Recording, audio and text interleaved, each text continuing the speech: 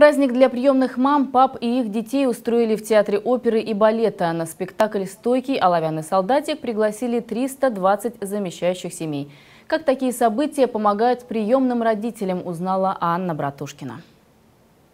Алиса знает, когда она была совсем маленькая, то жила с мамой Олей. Но из-за аневризмы женщина умерла. Поэтому теперь Алису растит другая мама, Алена. А еще есть папа, сестренка, кошка и собака. В общем, полноценная, счастливая семья.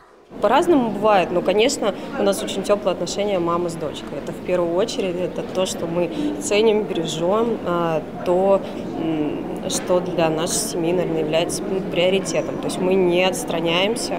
У нас есть еще один ребенок в семье, поэтому как бы все дети, они равны, и все должны, наверное, получать любовь, ласку, заботу.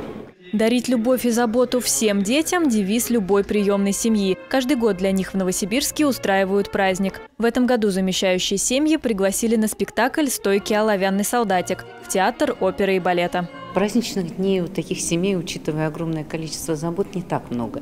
И не так часто, как раз в силу того, что они имеют много детей и ребятишек разных возрастов, не всегда они имеют возможность пойти в какие-то увеселительные заведения или культурные заведения. Поэтому, конечно, мы стараемся, когда проводим такие праздники, помимо общих обычных поздравлений, мы стараемся сделать для них праздник. Потому что там есть всякие герои сказки.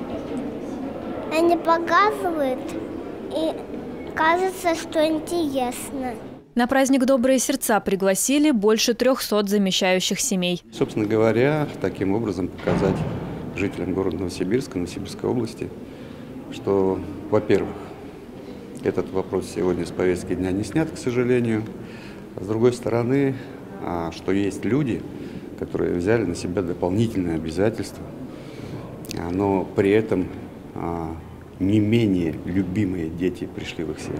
Многие приемные мамы и папы воспитывают по трое, пятеро и даже семеро детей. А когда они вырастают, родители готовы вновь дарить любовь малышам, оставшимся без семьи. Анна Братушкина и Денис Савинский. Новосибирские новости. Спасибо, что смотрите канал «Новосибирские новости». Мы рады предложить вам интересное и полезное видео. Если хотите оперативно получать информацию о жизни города, подписывайтесь на наш канал, жмите колокольчик, чтобы не пропустить последние новости.